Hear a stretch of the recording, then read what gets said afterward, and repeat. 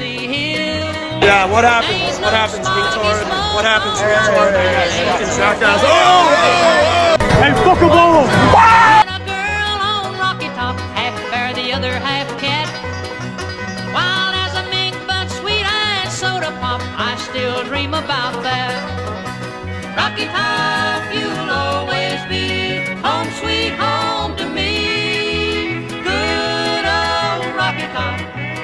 Rocky Top, Tennessee. Rocky Top, Tennessee.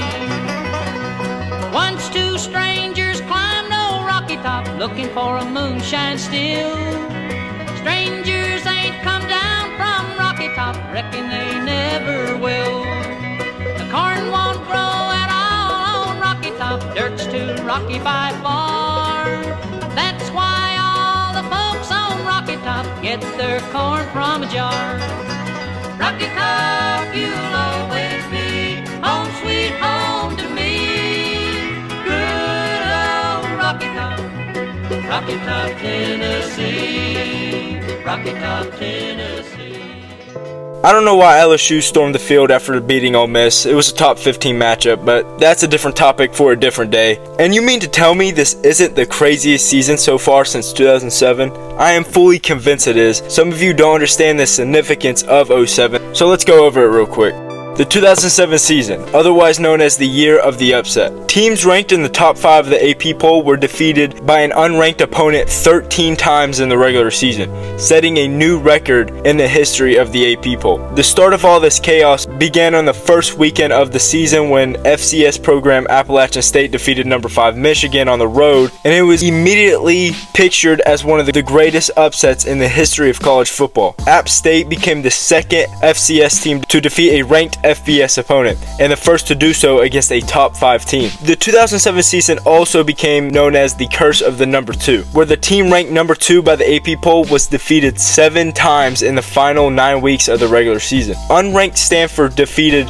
number 2 USC, unranked Oregon State defeated number 2 California, unranked Rutgers defeated number 2 South Florida, Florida State defeated number 2 Boston College, unranked Arizona defeat number 2 Oregon, number 4 Missouri defeated number 2 Kansas, and last but not least, unranked Pittsburgh defeated number 2 West Virginia 13 to 9 on December 1st. The number 1 and number 2 ranked teams had not lost in the same week in the same season since 1996. In 2007 alone, number 1 and number 2 fell during the same weekend three times, including in both of the final two weeks of the regular season. Just imagine a playoff format in 2007. The whole landscape of the ranking system in the playoff would have been flipped upside down. Number 1, LSU lost to Kentucky in three overtimes, and number 2, California lost to Oregon State 31 to 28 on October 13th. Again, number 1 LSU lost to Arkansas in three overtimes on November 23rd, and on the same day, number 2 Kansas lost to number 4 Missouri.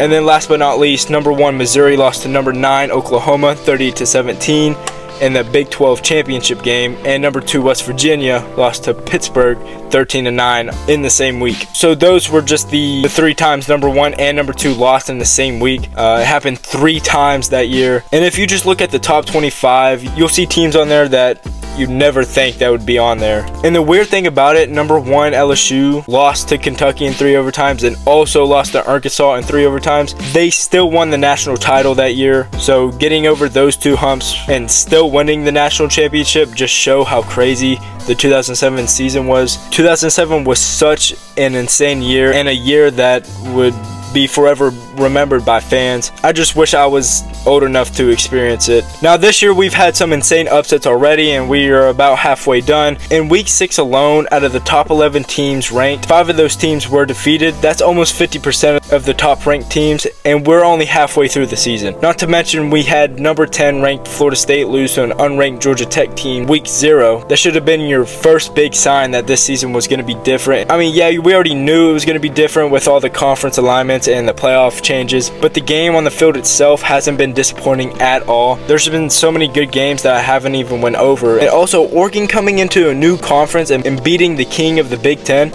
I would feel so disrespected as an Ohio State fan. They just walked in and bullied you for top dog. Sure, it's not an insane upset, but like to me, that's like Texas beating Georgia this Saturday. This video is being recorded before that game, so if that happens, you know, that's gonna be even crazier. I wouldn't doubt it's gonna happen because this is the craziest season. And if you don't believe me, argue with me in the comments. I'd love to have a conversation.